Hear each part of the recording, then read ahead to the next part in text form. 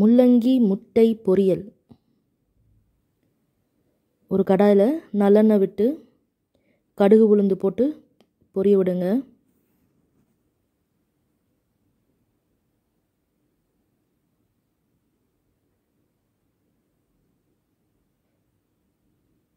கடுகு நல்லா பொரிஞ்சு வந்ததும் வெங்காயம் கருவேப்பிலை போட்டு வெங்காயத்தை வதக்குங்க. வெங்காயம் வெந்தால் போதும். ப்ரௌன் கலர்லாம் ஆக வேண்டாம்.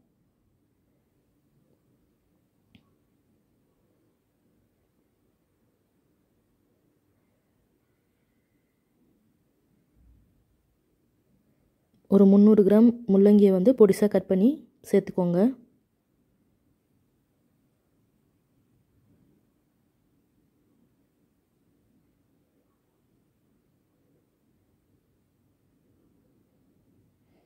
தேவையான மஞ்சத்தூள்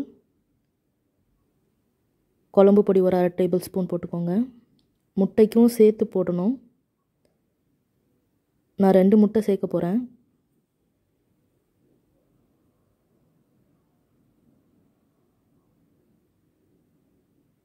தேவையான உப்பு.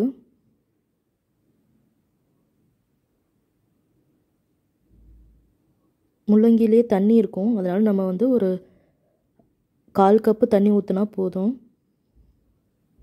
எல்லாத்தையும் கலந்து விட்டு மூடி வச்சு சிம்மில் ஒரு நாலுலேருந்து அஞ்சு நிமிஷம். இந்த காய் சீக்கிரம் வெந்துடும் தண்ணியெல்லாம் வற்றி காய் நல்லா வெந்துருச்சான்னு பாருங்கள் நல்லா கிளறி விட்டு.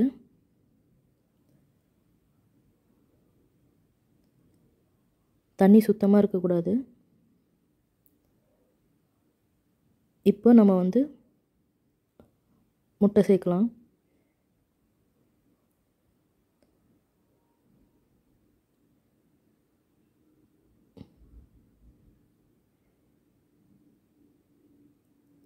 ஃபுல்லாக சிம்மில் வச்சு முட்டை நல்லா வெந்து உதுரு உதுராக உதுரு உதுராக வர வரைக்கும் கலந்து விடுங்க.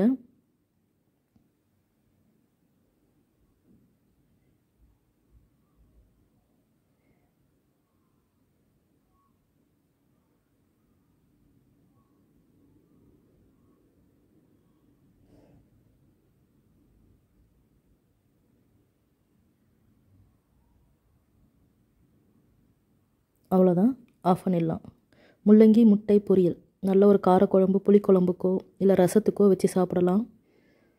புல்கால கூட வச்சு சாப்பிட்லாம். ரொம்ப நல்லாயிருக்கும் கோல்டாகும்னு நினைக்கிறவங்க மிளகு போட்டு செய்யலாம். செஞ்சு பாருங்கள் முள்ளங்கி முட்டை பொரியல். நன்றி.